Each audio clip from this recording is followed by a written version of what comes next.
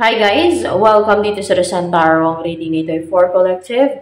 For anyone who can resonate sa reading nito, this is a love reading for collective. Your energy at this time.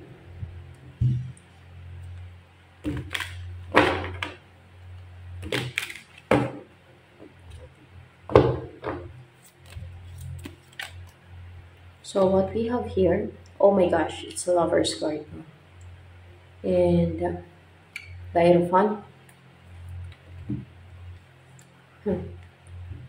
So ayan yung energy mo. You're in love. Or you're meant to be with your soulmate. Kakasal ka sa soulmate mo. Yun yung energy mo. And you're spiritual. Um, talagang naniniwala ka na soulmate mo ang makakatuluyan mo, na mayroong spiritual connection sa inyo ng person na in love ka. And naniwala ka na soulmate kayong dalawa, na meron kayong uh, spiritual connection or kayo ang itinadhana or kayo ang uh, nakalaan para sa isa't isa.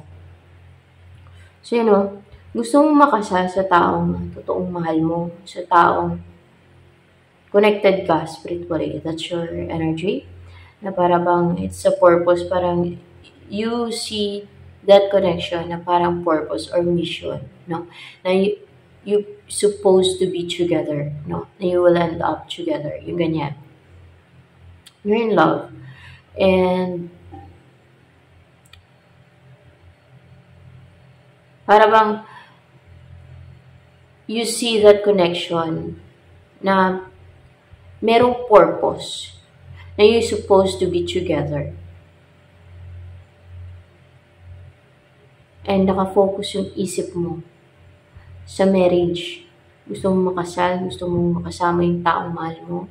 Or kung wala pang person na nasa isipan mo ay meron ka ideal na person na, na maging lover mo, maging uh, asawa mo.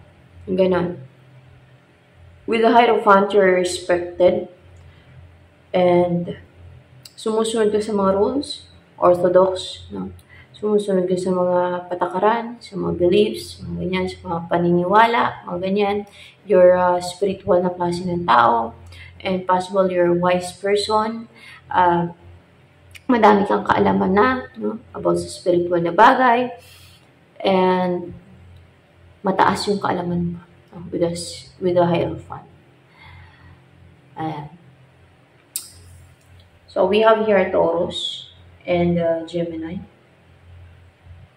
Intense yung uh, nararamdaman mong connection with the person na you want to be with or or else i-married ka sa tao niya.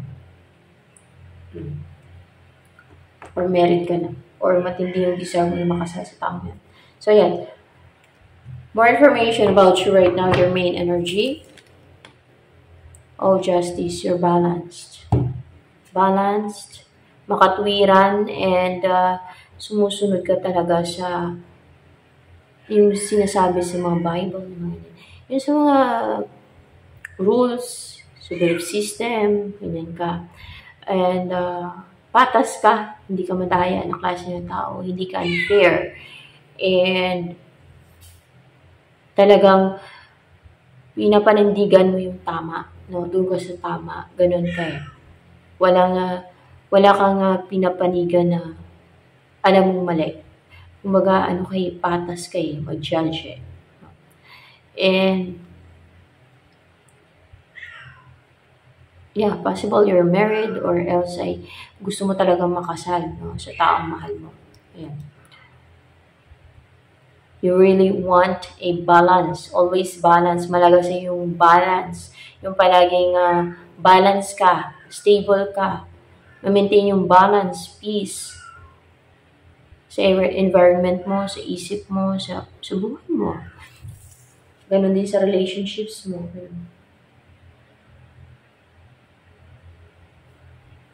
Libra, Taurus.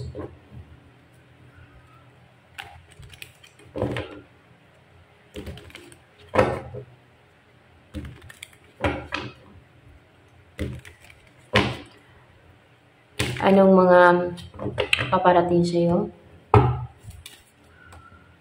Oh, offer. It's an offer, guys. From your past person. From a person from your past talaga. eh. Or from your past life. Person from your past life. Okay, Ten of Cups. It's your ex. Merong offer dito, a cup of love. Uh, maaaring hiwalay ito sa asawa, itong person na to. At ex mo to or heartbroken siya dahil hiwalay sa asawa or else ay hindi masaya yung family niya. Um,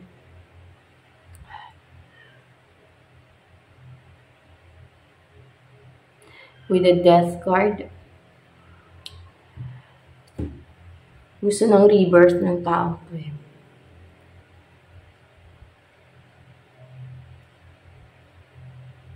Hmm. And the Ten of Cups. Maybe it's your ex-spouse. Ex-spouse na gusto ng gusto nga kausapin ka, gusto kang ligawan ulit, ganyan. Gusto nga yung magkasundo kayong muli. Gusto ng uh, another relationship ulit sa'yo, yung ganyan. This person is heartbroken. Pero, it's your ex. And, possible naka-recover na siya sa mga tumultos and uh, matinding pinagdaanan niya. May pinagdaanan tong tao to eh. Um, para ba nag-transform or may mga pinag, uh, pinagdaanan na mahirap no? dumaan sa transformation. And uh, para naging bago na siya eh. Naging new person na siya. Yung ganon. Hmm. So, yan.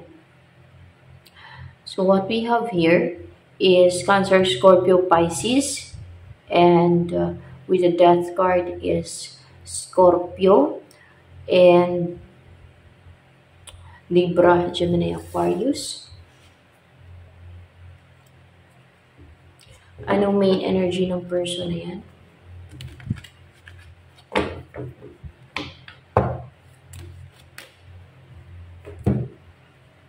Oh, Queen of Wands. King of Swords in reverse. Queen of Wands. So, yan. Hindi niya mapigilan yung feelings niya sa'yo. Clouded siya ng attraction sa'yo. Yung gano'n. Yung dati ay naging cold, unemotional, or parang walang pake. Naglalagay pa ng boundary, and uh, parang walang pagmamahal, yung ganyan. Parang patay yung connection niyo ba? Patay yung, yung feelings niya sa'yo dati. Ngayon ay, ah, yun, nagkakaroon na ng attraction. Muling uh, nag-uumapoy siya sa attraction sa'yo. Desire. What's with the Queen of Wands here?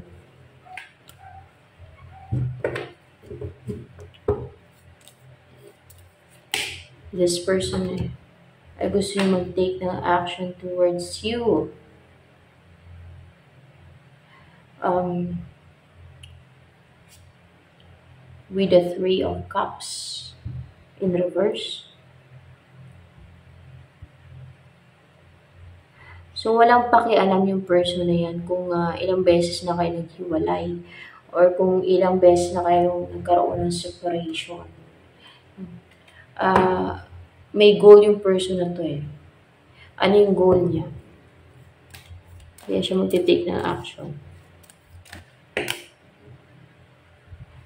Ah, hmm? Ang hindi magpa-distract sa mga distractions. Ang uh, mag-focus sa goal niya towards you. Ang makuha ka, ang makarecover na sa sadness itong person na to, ang hindi ka masayang. Ang hindi niya pagsisihan sa buong buhay niya, yung nawala ka sa buhay niya. So, gusto niya dito ay mag-take siya ng action kasi ayaw niyang mawala ka. Mawala na yung mga options or yung mga iba niya ka-connect. Huwag lang ikaw. Yan. So what we have here is Cancer, Scorpio, Pisces, Libra, and Leo. Anong feelings niya sa'yo ngayong person na yan? So what we have here is of swords. Four of ay five of cups in reverse. More on attraction to guys. More on attraction. Ayaw niya mawala. Ayaw niya nga tuluyan kang mawala sa buhay niya. No? Ayaw niya nga mag-regret siya throughout his or her life. Ano to eh, uh, clouded talaga yung isipan ng person mo dito ngayon. With the Ten of Wands. Na mga baggage. Mga, madami siyang iniisip, madami siyang uh, problema siguro or mapinagdaanan sa buhay. Kaya ganun. Clarify natin yung feelings ng person mo towards you. Feelings ng person mo towards you. So, Emperor. Hindi niya talaga mapigilan guys yung feelings niya sa'yo. So, isa lang, isa-isa lang. And what we have here is the Lover's card. Hindi ko na kinukuha itong iba kasi masyadong madami. Ayun o, with the temperance. So, gusto nyong, oh my gosh. Gusto niya mag-heal pa yung connection niyo with the temperance. And, na-awaken to guys. May mga realize to uh, na mahal ka niya. Yung ganon. Nadadala siya sa feelings niya eh, sa emotion niya sa'yo eh. Nagkakaroon na siya ng emotion kung dati wala, na parang patay yung emotion niya sa'yo. Ngayon ay uh, nabubuhay yung emotion niya sa'yo. Attraction, emotion, uh, desire, passion. Ayan. So, in love siya sa'yo, no? In love siya sa'yo with the lover's card. So, let's see kung anong feelings mo yun sa person na yan. Hmm. Knight of Swords. Ayun talaga eh. In love kayo. In love ka din sa kanya. Decisive ka and uh,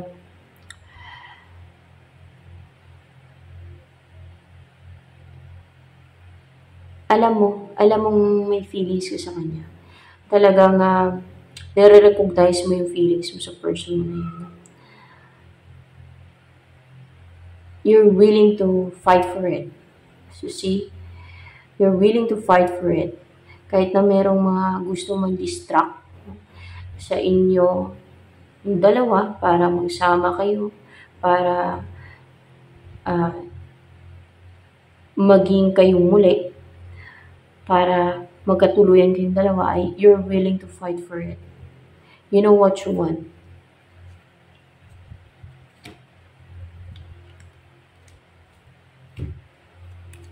So, let's see kung anong gusto mangyari nitong person mo sa inyo. Ano ba ang gusto niyo mangyari sa inyong dalawa? So, ayan guys. Queen of Pentacles and the Temperance. Ang maghilang connection niyo. What's with the temperance here? So, yun o. Seven of Pentacles. Willing to mag-antay. No? Kung kailan kanya mapangasawa. Kung kailan na kayo magkatuluyan. Yung ganyan. Willing din to makipag-amend, makipag-ayos uh, sa'yo. Uh, yeah. And also the Eight of Swords in reverse, ay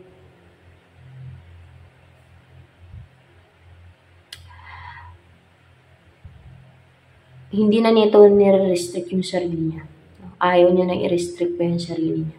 Ayaw niya nang pigilan pa yung sarili niya to be with you kasi alam niyang mahal ka niya. At uh, ayaw niya nahihirapan siya. At ayaw niyang pahirapan niya ang sarili niya.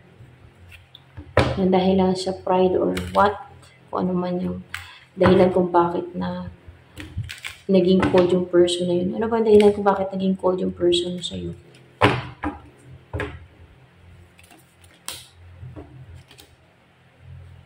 Nagkaroon yun ng pag-away sa yung dalawa, guys.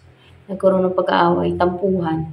Tampuhan, pag-away, uh, maring misunderstanding din talaga eh.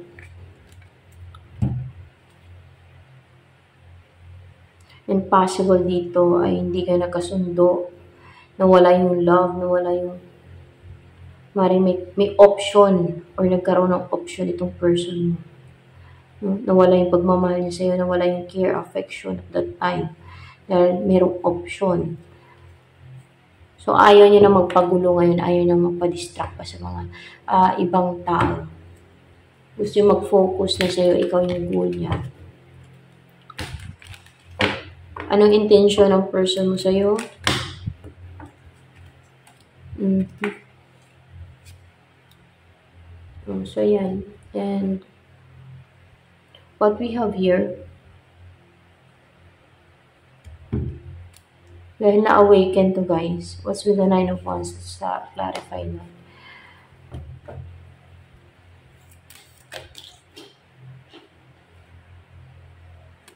Okay and with the Wheel of Fortune.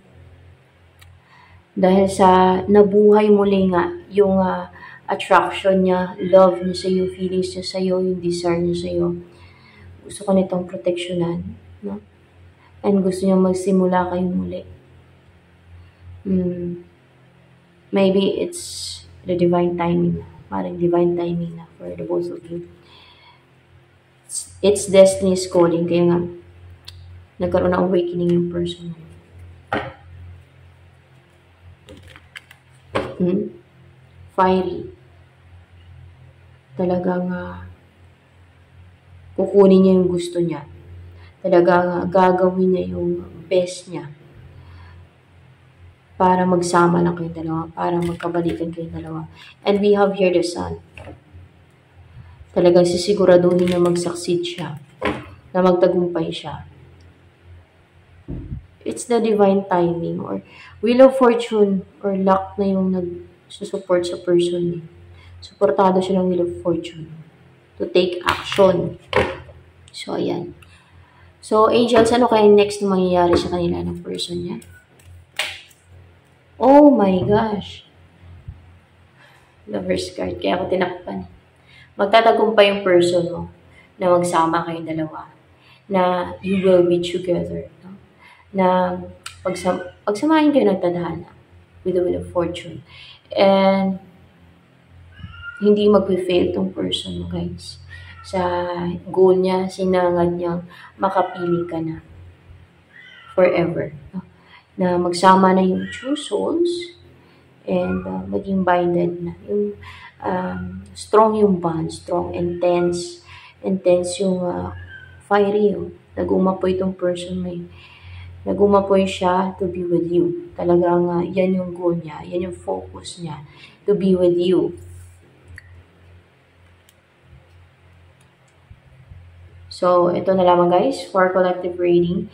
Sa mga baguhan po dito sa akin channel, please do subscribe. At huwag po ninyong kalimutang i-click ang bell button na siguro mo notify kayo sa mga susunod na videos na upload ko.